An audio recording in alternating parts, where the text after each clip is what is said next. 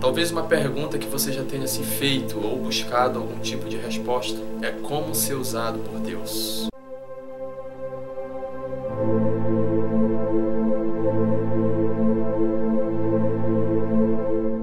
Antes de mais nada, nós precisamos entender que para sermos usados por Deus, nós precisamos de estrutura.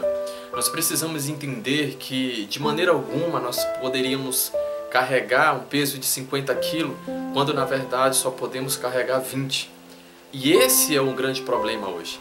Nós queremos que as coisas aconteçam de maneira muito rápida. Nós queremos que as coisas aconteçam sem que haja um processo pela qual venha a estrutura sobre o homem para que o homem possa entender e discernir o seu verdadeiro propósito, o motivo pela qual ele nasceu, o motivo pela qual Deus o criou e o porquê que ele está nessa terra. Então, como ser usado por Deus? Quando você olha para si mesmo e acha que não existe um dom sobre você, você não está na mídia, você não tem status, você não está viajando de um lado para o outro, você não está à frente de um púlpito pregando ou cantando ou fazendo alguma coisa. Como ser usado por Deus? Na verdade, a grande questão é que nós estamos entendendo que ser usado por Deus é estar sempre com uma câmera apontada para você, com aplausos para você, com um tapa nas costas dizendo o quão precioso foi a sua pregação, como você é usado por Deus. Mas na verdade, nós precisamos entender e discernir que ser usado por Deus é você ter todo o cuidado em agradá-lo. Porque lembre-se sempre de algo. Ser usado por Deus não significa que você está o agradando mas agradar a Deus significa que você está sendo usado por Ele. Lá no livro de Lucas, capítulo de número 4, versículo de número 17 e 18 diz: Então lhe deram o livro do profeta Isaías, e abrindo o livro, achou o lugar onde estava escrito: O Espírito do Senhor está sobre mim, pelo que me ungiu para evangelizar os pobres, enviou-me para proclamar libertação aos cativos e restauração da vista aos cegos para pôr em liberdade os oprimidos e apregoar o ano aceitável do Senhor. Aqui em Lucas 4, quando Jesus lê essa passagem que está no livro do profeta Isaías e diz que ali se cumpria essa profecia, nós olhamos que você vê que Jesus estava dizendo que o Espírito do Senhor estava sobre ele, pelo que ungiu para algo. Só que a grande questão é que você vê o Evangelho ser pregado, você vê Jesus dizendo sobre é, evangelizar os pobres, restauração da vista aos cegos, pôr em liberdade os oprimidos e apregoar o ano aceitável do Senhor, mas você vê Jesus fazendo isso no seu dia a dia. Você vê Jesus nos ensinando que nós precisamos fazer tudo isso, nós precisamos viver o querer de Deus, nós precisamos nos permitir ser usados por Deus no nosso dia a dia. Aonde você está, aonde você anda, por onde você caminha, essas coisas precisam acontecer. Mas nós fomos ensinados que afinal de contas eu preciso de um púlpito para manifestar todas essas coisas. Eu preciso de um púlpito para que algo aconteça e não é bem assim. O Senhor nos dá todos os dias oportunidades para que nós possamos ser usados por Ele em tudo. Aonde você olhar, para onde você ver, vai existir alguém precisando de algo que está na sua vida. Vai precisar de algo que você tem, que você carrega. E essa pessoa precisa disso. Essa pessoa precisa que você se predisponha a entender que esse é o momento de você ser usado por Deus. Seja onde for, seja na feira, seja no aeroporto, seja em uma rua, seja no trabalho, Deus quer usar você. Deus quer fazer com que aquilo que Ele quer, a obra que Ele quer, a unção que Ele colocou sobre você, o poder que Ele confiou em você, venha se manifestar em uma necessidade. Ou seja, quando há essa necessidade, de você entender que alguém está precisando daquilo que está na sua vida, de você ver que existem pessoas que estão precisando de uma palavra e essa palavra está em você, de você ver que pessoas estão precisando de um milagre, de uma cura, estão passando por enfermidades horríveis e você olhando para elas e encarando como se aquilo fosse algo normal. Quando na verdade esse é o seu momento de olhar para essa pessoa e simplesmente apresentar a ela a cura, simplesmente apresentar a ela algo que ela precisa. Se você lê em Atos, quando a Bíblia diz que Pedro e João estavam indo ao templo, é, existia aquele homem que estava lá pedindo esmola. Só que Pedro não pediu para que ele entrasse ao templo para que recebesse uma ministração. Simplesmente Pedro olha para ele, estende a mão e diz: Não tenho ouro nem prata, mas aquilo que eu tenho eu te dou. Em nome de Jesus, levanta e anda. Você vê que o milagre aconteceu ali na frente, na porta, no portão chamado Formosa. Por quê?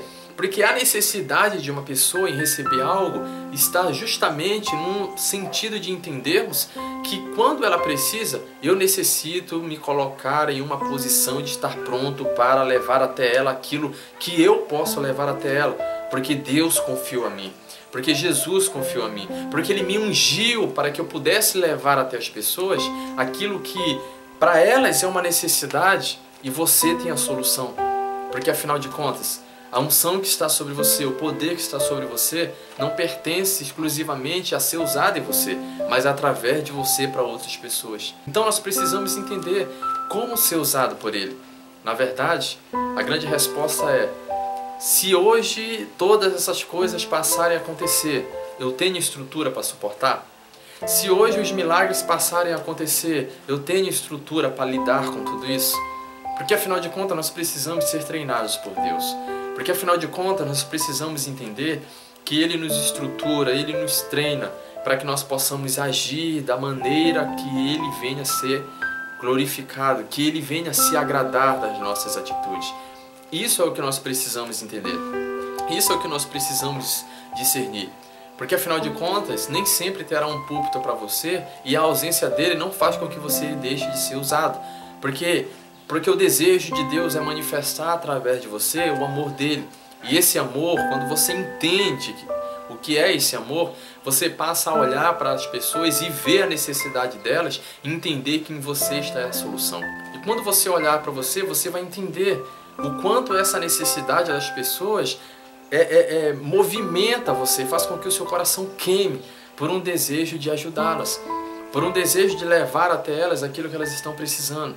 Só que nós precisamos entender que existe um processo. E esse processo não é você pagar um preço, não é você fazer isso, não é você fazer aquilo, não é você tentar buscar algo que alguém fez, transformar isso em uma doutrina e passar a fazer como se só dessa forma irá dar certo aquilo que alguém fez e deu certo. Na verdade, o que nós precisamos entender é que o maior desejo de Deus em nos estruturar, em nos capacitar, é para que quando esse momento chegar, você possa entender que você está pronto para não sair do caminho, para não sair do propósito pela qual Ele ensinou você que você precisa viver.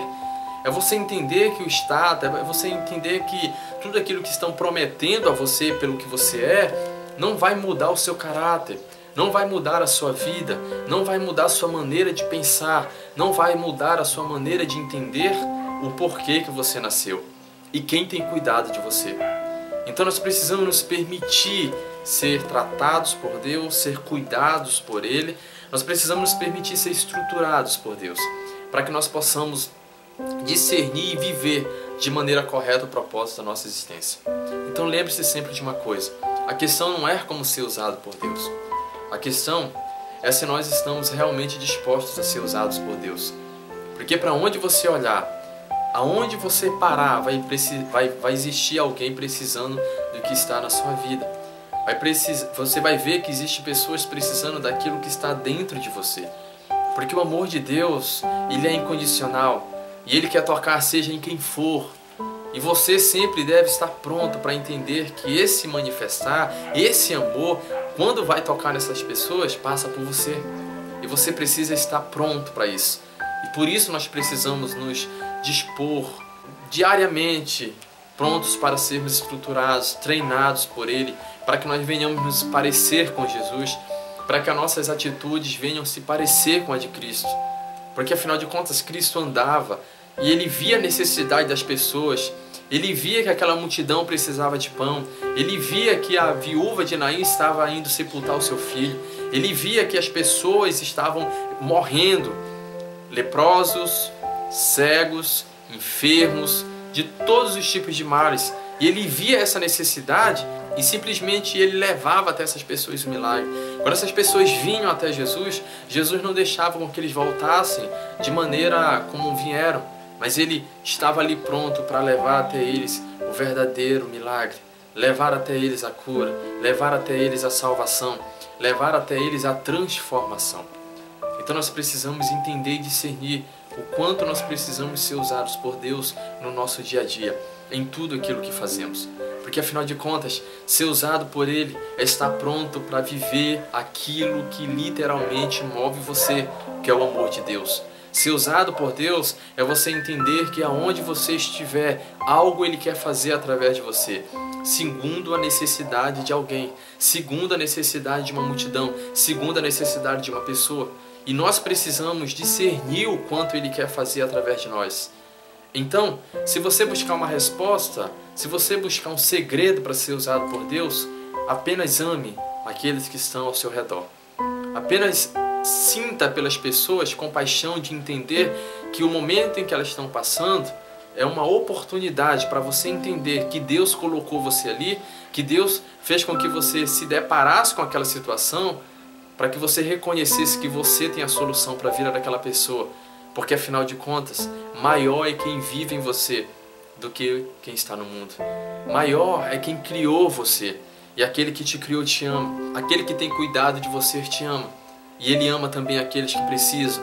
Por isso nós precisamos entender que a necessidade de nós caminharmos e olharmos ao nosso redor e esquecermos que viver apenas esse mundo em qual nós estamos presos, como se somente aqui eu posso fazer, somente nesse espaço eu posso fazer.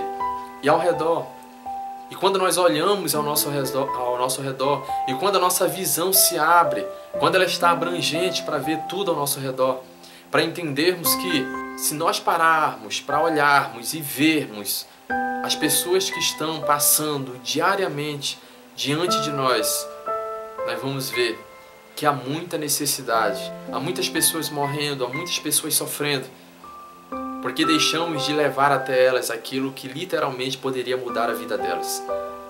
Para ser usado por Deus, você não precisa de um púlpito. Para ser usado por Deus, você precisa apenas amar. E quando nós queremos manifestar o amor de Deus por nós, nós estamos dispostos a ver que em cada pessoa, em cada irmão existe uma necessidade e em você existe a solução para esse problema. Em você existe a solução para aquilo que aquela pessoa está vivendo. Que médico não conseguiu resolver, que a ciência não conseguiu resolver, não conseguiu explicar, mas você sabe a resposta. Você sabe o como ela ser transformada, o como a vida dela ser mudada. Então lembre-se, não perca a oportunidade de manifestar o amor de Deus aonde você estiver. E lembre-se sempre de algo: os sinais acompanharão aqueles que creem. O amor de Deus acompanhará, acompanhará aqueles que creem. Então, aonde você estiver, as coisas irão acontecer para que Ele seja glorificado e para que as pessoas possam ser transformadas por esse amor grandioso. A unção, o poder, a glória de Deus vai sempre se manifestar contanto que você entenda que o verdadeiro amor lança fora todo medo de que o fato de você orar algo não vai acontecer. Lembre-se, não é você que faz. Apenas ame. Apenas esteja disposto a levar até as pessoas esse amor. E você vai ver que as coisas irão mudar, que as coisas serão transformadas. E você irá levar até as pessoas aquilo que elas precisam. Lembre-se sempre, ser usado por Deus é estar disposto realmente a fazer com que tudo aquilo que Ele quer possa ser manifestado através de você na vida daqueles que precisam. E essas pessoas estão necessitando de nós. Essas pessoas estão necessitando de você. E você tem aquilo que as pessoas necessitam, porque Deus confiou a você tudo aquilo que é necessário para que as coisas venham a acontecer, para que os sinais, as maravilhas, os milagres venham a acontecer e essas pessoas venham viver um novo tempo, entendendo que tudo aquilo que elas precisavam, Deus, seu Pai, deu a elas. Que Deus possa te abençoar e que você possa aproveitar cada oportunidade que Ele tem dado a você de ser usado por Deus, de ser um instrumento nas mãos de Deus. Deus te abençoe.